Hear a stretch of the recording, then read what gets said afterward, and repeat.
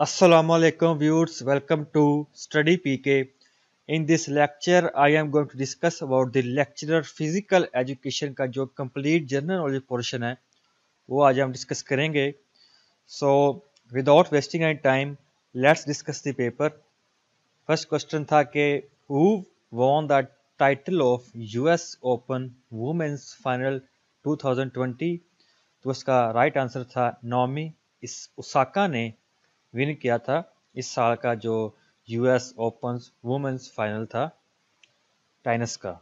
Next question था कि Al Jazeera जो टीवी चैनल है, बिलोंग्स टू विच कंट्री? तो उसका राइट आंसर था Qatar next one is the reprisal का साइनोनिम क्या होता है? तो रिप्राइजल का जो साइनोनिम होता है वो है retaliation.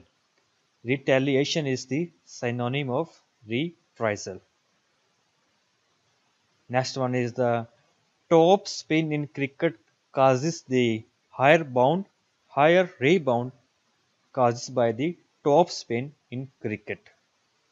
Next question था कि एक्सिफ का जो एब्रीवेशन है वो क्या होता है तो एक्सिफ का एब्रीवेशन होता है exchangeable image file format is the abbreviation of EXIF next question था कि who won the title of US Open men's final women's final का भी पूछा हुआ था और मेंस फाइनल का भी पूछा हुआ था टेनिस के बारे में।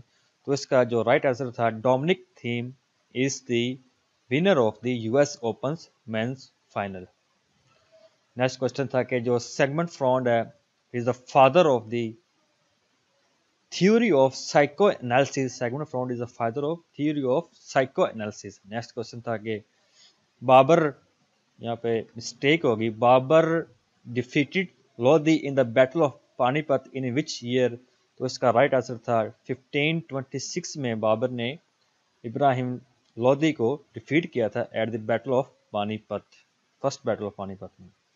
नेक्स्ट क्वेश्चन था कि एलपीजी का एब्रीवेशन क्या होता है? सो so, ये बहुत ही इजी क्वेश्चन था। एलपीजी का abbreviation liquefied petroleum gas Next one is the, which of the following constituted the pentathlon in ancient Olympic?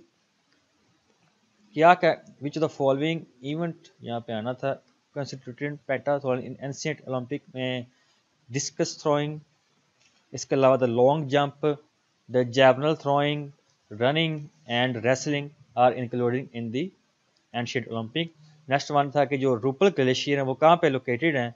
तो इसका जो राइट आंसर था, वो था हिमालय रेंज हिमालय रेंज में रूपर ग्लेशियर लोकेटेड है।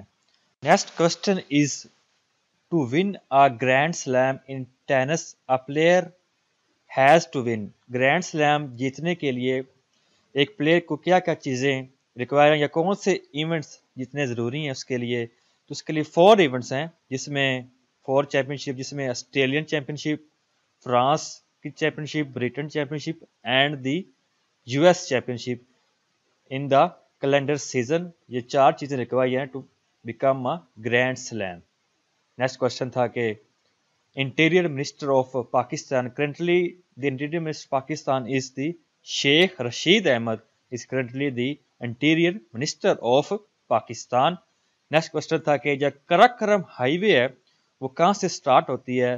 तो इसका जो राइट आंसर था वो Hassan Abdal is the right answer for the Karakoram highway which started. Next question था कि which of the following is not a paragraph formatting तो इसका जो right answer था वो margins is the right answer that is not included in the paragraph formatting. Next one is the Mohammad bin Ismail Bukhari किसकी जो book का नाम बताना था तो Sahih Bukhari is the book of Muhammad bin Ismail Bukhari next one is the Nelson Mandela जो कि south Africa के प्रेसिडेंट थे, वो कितनी देर जेल में रहे? हाउ मैनी ईयर्स उसका जो राइट आंसर था वो ट्वेंटी सेवन था।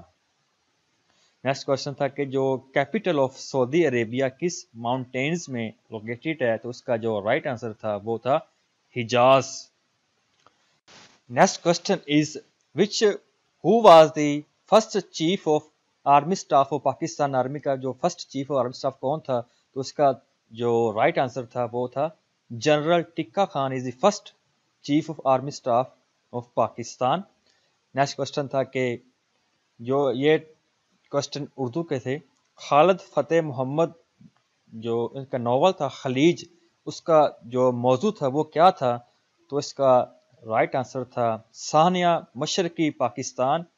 जो 1971 का जो डिबैकल हुआ था, उसमें ये डिस्कस करता है Khaleej novel of the Khalid Fateh Muhammad का जो नावल था खलीज इस फोक्सिस ऑन सानिया मशरकी पाकिस्तान।